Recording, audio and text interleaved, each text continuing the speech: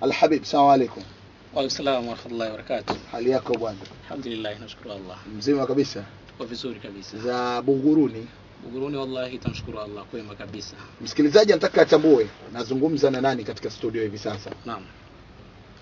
Asalamu alaikum mtazamaji, naitwa Fadhili Masanza Aha. e, natokea Buguruni, yeah. Dar es Salaam mwenye amani na nipo pale kwa ajili ya majambo kama haya kama Aha. tunavyoweza kusikia hewani e, tuwa, tunaandaandaa sana vitu kama hivyo Haya, huyo ni Masanza. Naweza kusema ndo mara ya kwanza naona kutoka mkoani Kilimanjaro. ndio. Wengi sana tumezoea wakitokea huku pwani pwani. Nini ambacho kimewashawishi watu wa Ugweno mpaka mfanye kitu kama hichi?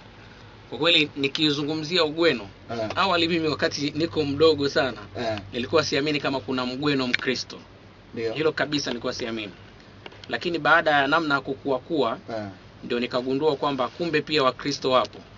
Ina maana niliamini kile kijiji ni cha Uislamu tu kutokana na ule mfumo ambao wanaoishi kule na zile tabia zote za Kiislamu, na kuwa Uislamu umeenea sana katika kijiji kile, tofauti na, na jirani zetu wa kule Usangi. mm-hmm.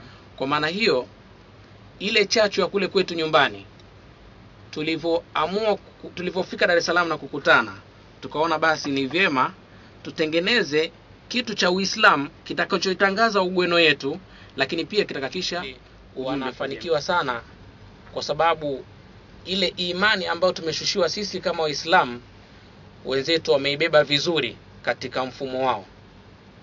Maana Muislamu imani thabiti kabisa tunaipata tu kwa kushinikizwa, lakini tukilelewa vizuri katika maadili madrasa vizuri tuka, tuka, tuka, tukaenda vizuri katika mfumo wa, wa madrasa inavyotakiwa tutakuwa na imani, lakini tofauti na kuwa na imani tunashindwa kuwa kuwa waislamu bora, tutakuwa bora waislamu. Lakini pia katika kuunga mkono shughuli zetu za, za Kiislamu hasa katika haya ambayo tunayafanya. Kiukweli hizi shughuli za kimadrasa madrasa zipewe nafasi kubwa sana